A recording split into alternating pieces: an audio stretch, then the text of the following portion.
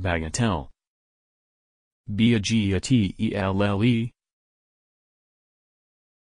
A trifle, a thing of little or no importance. A short, light musical or literary piece.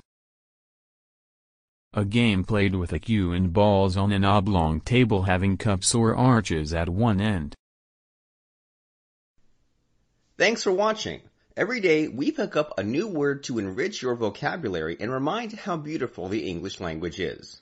Visit us on www.shareaword.com to learn a new word each and every day.